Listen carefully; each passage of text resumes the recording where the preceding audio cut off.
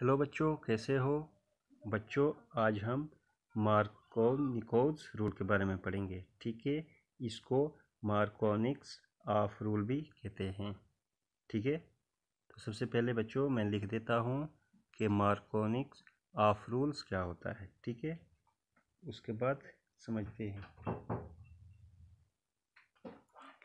According to Markovnikov of rules negative end of reagent goes to carbon atom having lesser number of hydrogen atoms ठीक है? तो मार्कोनिक of rules के तहत, जो regent का negative part होता है, वो उस कार्बन की तरफ़ जाता है, जहाँ पे हाइड्रोजन एटम्स कम हों, ठीक है? और ये रूल अल्कीन्स के लिए अप्लाई होता है, ठीक है? कौन से अल्केन्स अनसिमेट्रिकल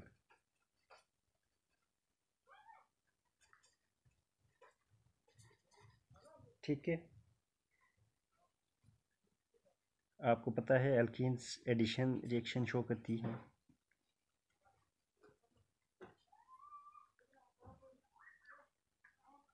ठीक है? हम ये कह सकते हैं। The addition of unsymmetrical alkenes to unsymmetrical reagent follow Markovnikov rule ठीक है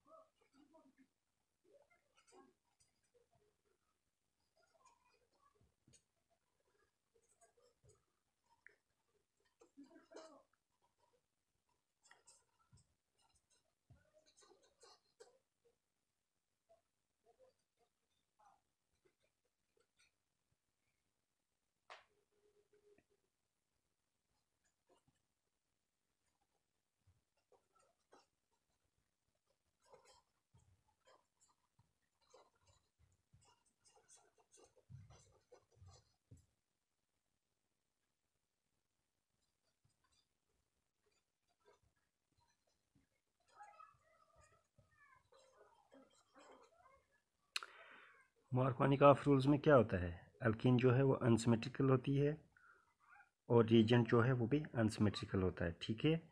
और उस केस में क्या होता है?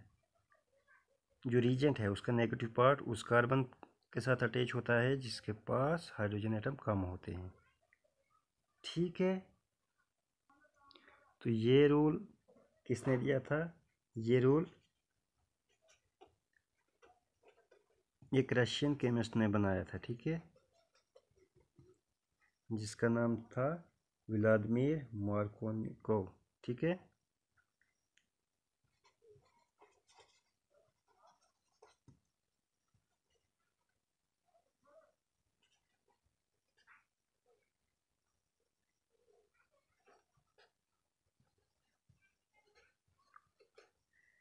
ये रूल सबसे पहले एक रशियन केमिस्ट ने बनाया था, जिसका नाम था व्लादिमीर मार्को निको कब? 1870 में। ठीक है बच्चों, अब हम कुछ एग्जांपल्स लेते हैं। ठीक है? सबसे पहले हम प्रोटीन की एग्जांपल लेते हैं। ये हमारे पास प्रोटीन है। अब हम एच एक्स लेंगे। एक्स मीन्स इसमें हम बी आर ले सकते हैं आई ले सकते हैं सी एल ले सकते हैं। ठीक है? तो क्या होगा? इसमें आपको पता है ये पॉजिटिव पार्ट होता है, ये नेगेटिव पार्ट होता है। तो नेगेटिव पार्ट कहाँ जाएगा? उस कार्बन की तरफ़, जहाँ पे हाइड्रोजन एटम्स कम हो। तो हमारे पास क्या प्रोडक्ट बनेगा? हमारे पास ये प्रोडक्ट बनेगा।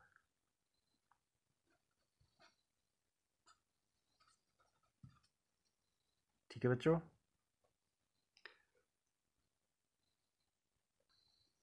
एक और इंपॉर्टेंट पॉइंट आपने याद रखना है। अगर हमारे पास ऐसे कार्बन एटम हों, जिसमें हाइड्रोजन एटम्स सेम हों, उस केस में क्या होगा? आइए एग्जांपल देते हैं।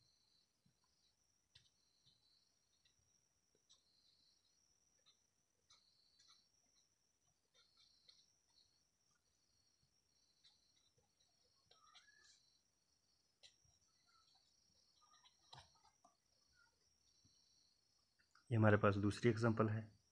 ठीक है? अब इस केस में हमारे पास ये दो हाइड्रोजन सॉरी कार्बन हैं, जिनमें हाइड्रोजन सेम है। तो इस केस में क्या होगा? हमारे पास दो प्रोडक्ट्स बनेंगे, ठीक है? तो कौन कौन सा प्रोडक्ट बनेगा?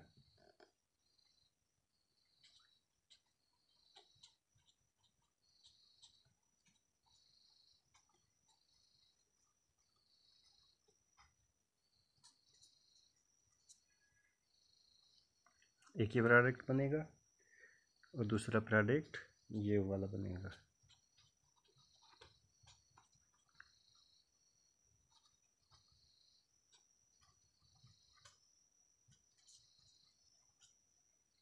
ठीक है? ये आया टू ब्रोमो पेंटेन और ये आया थ्री ब्रोमो पेंटेन ठीक है?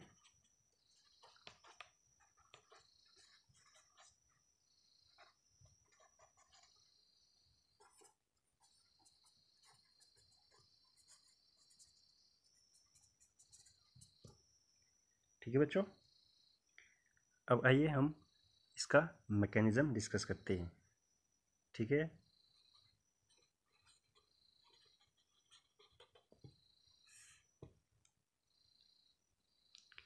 इसमें हम प्रोटीन की एग्जांपल लेते हैं।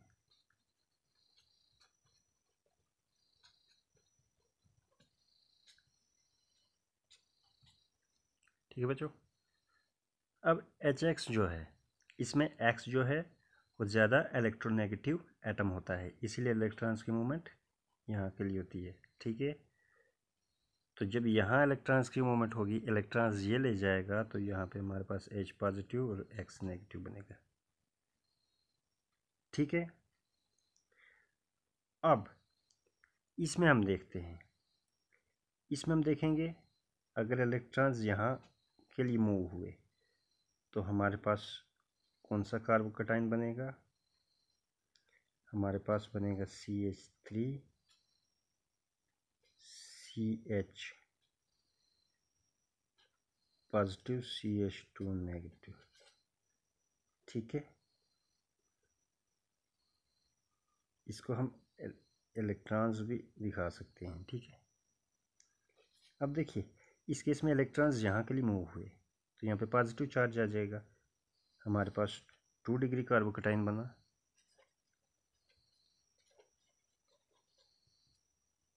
ठीक है?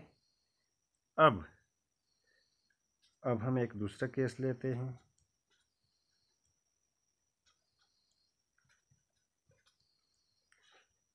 अगर इलेक्ट्रॉन इस साइड मूव हुए तो हमारे पास कौन सा कार्बोकटाइन बनेगा?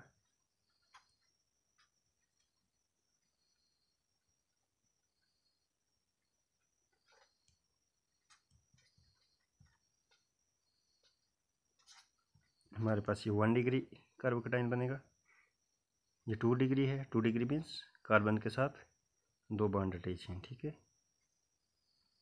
इसमें एक बॉन्ड। तो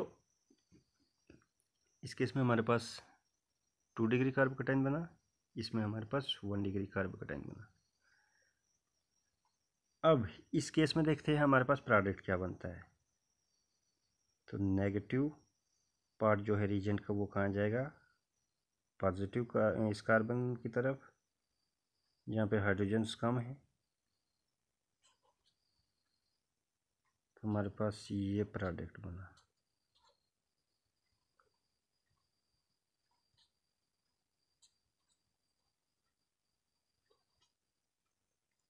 ठीक है? अब इस केस में देखते हैं।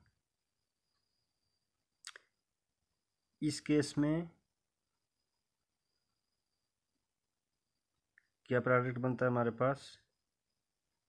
ये नेगेटिव पार्ट जो है, ये यहाँ पे अटैच होगा पॉजिटिव कार्बन पे।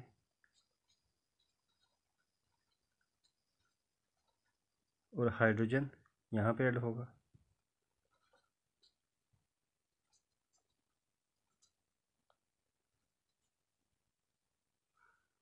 इस फ़र्स्ट वाले केस में हमें ये प्रोडक्ट बना और सेकंड वाले केस में हमें ये प्रोडक्ट बना।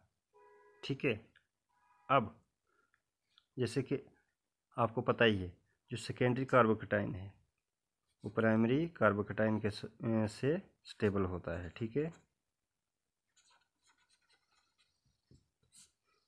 सेकेंडरी कार्बोकेटाइन प्राइमरी कार्बोकेटाइन से स्टेबल होता है। तो हमारे पास जो ये प्रोडक्ट है, ये हमारे पास मेजर प्रोडक्ट होगा, ठीक है?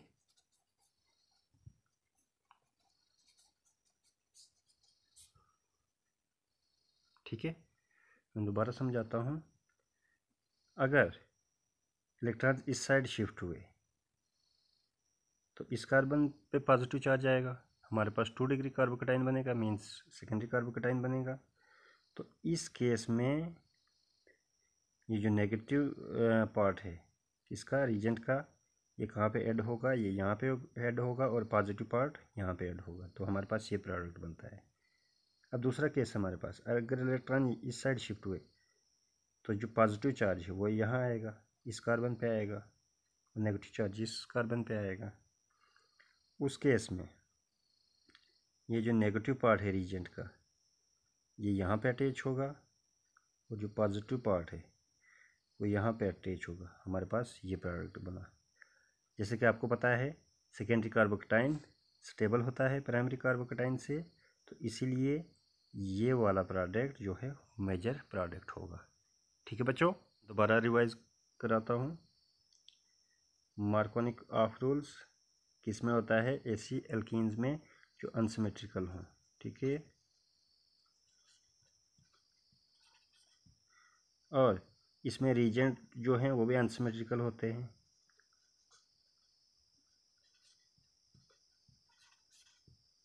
ठीक है? फिर उसके बाद रीजेंट का जो नेगेटिव पार्ट है, वो उस कार्बन के पास अटैच होता है, जिसके पास हाइड्रोजन एटम्स कम होते हैं। ठीक है?